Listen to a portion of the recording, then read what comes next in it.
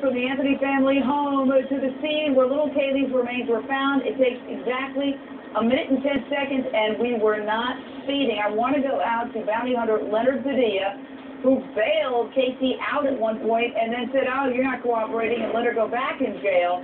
What do you make of the testimony of these two private investigators today who appeared for the defense and essentially said, we went through that area where you saw that for sale sign, with a fine-tooth comb, and we videotaped ourselves going through it.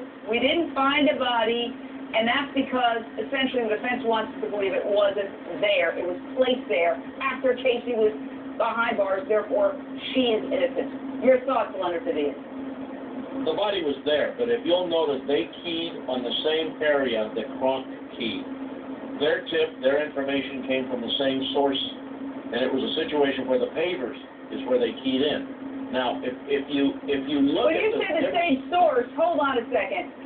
You're saying the same source, but they're saying under oath in court that a psychic led them there. You're saying you don't buy the psychic? And Cindy said she did the chloroform searches under oath. No, I don't buy the psychic thing, unless somebody fed the information to the psychic. So it's a, it's a situation where the psychic regurgitated it to him, or Dominic Casey is just saying he's talking to the psychic about this, and he's talking to his daughter. Who knows who he's Well, talking to on that listen, phone? I know you have a whole conspiracy theory uh, that No, can't go into. It's going to take like an hour and a half. But basically, your conspiracy theory is that Casey allegedly revealed the location. Cops overheard it. They couldn't go there because that would be proof from the poison tree.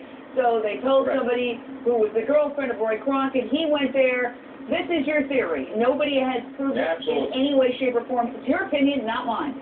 But um, it. suffice it to say, Leonard Padilla, that you don't buy the idea that they innocently traced over there led by a psychic. Um, I, I want to bring in J.D. Weintraub.